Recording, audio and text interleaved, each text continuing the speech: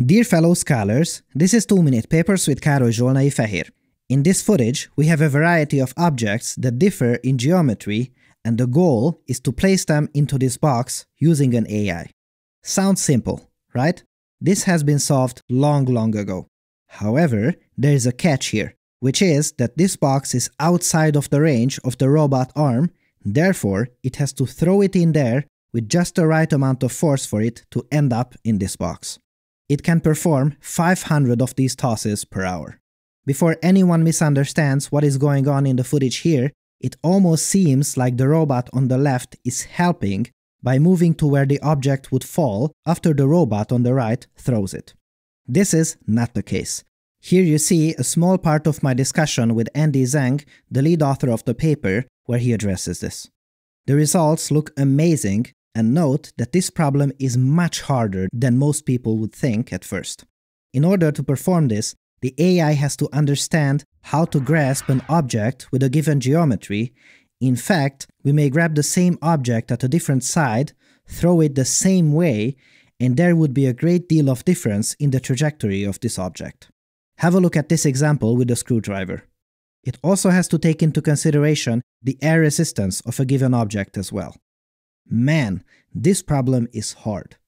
As you see here, initially, it cannot even practice throwing because its reliability in grasping is quite poor.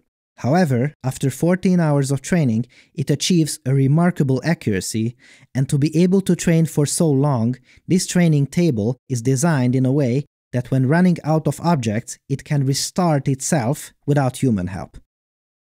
Nice!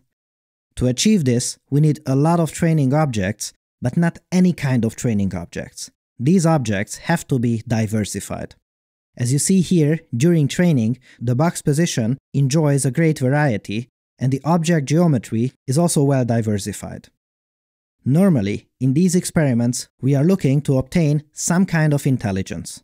Intelligence in this case would mean that the AI truly learned the underlying dynamics of object throwing and not just found some good solutions via trial and error.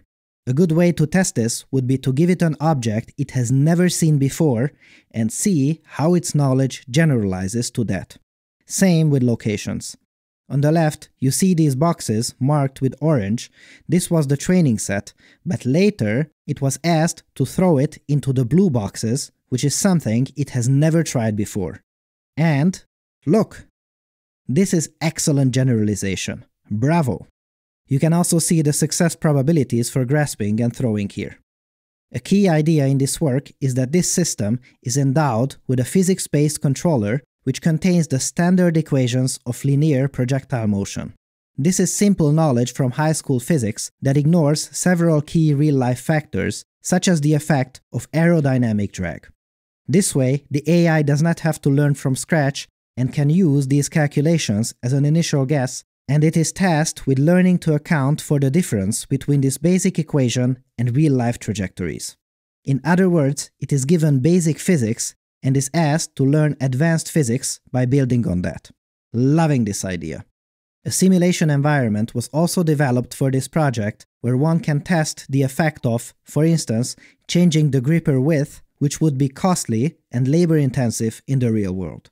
Of course, these are all free in a software simulation. What a time to be alive. Thanks for watching and for your generous support, and I'll see you next time.